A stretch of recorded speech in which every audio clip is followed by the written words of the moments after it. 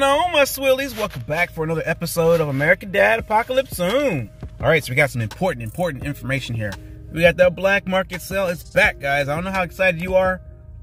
I'm so-so, but let me know in the comments below if you are really excited about this black market sale returning.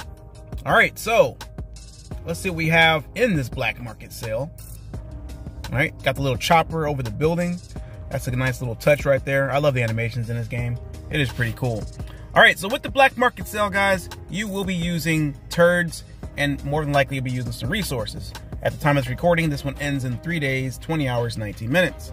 All right, so if there's some pieces of gear for some types of holidays that you might have missed, you can purchase those things right now.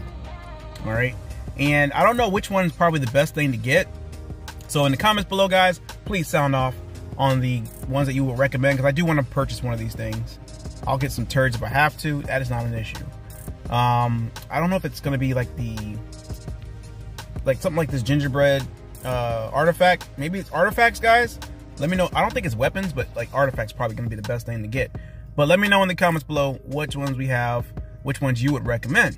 All right, I think maybe the symbol of love, maybe? I don't even know. This might be a good one also to get. It may be all, guys. It may be all. So if you guys have been playing for a short while, or even if, even if you've been playing for a long while and you didn't get you get unlucky just like myself, then maybe.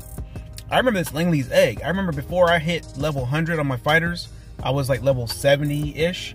So this might be a good one for me because it does summon a bunny horde that restores 20,000 health in allies and reduce enemies attack rate and movement speed by 5 or for 5 seconds. That's a good one. That really heals your your troops and everything like that. To me, that's a good one. All right.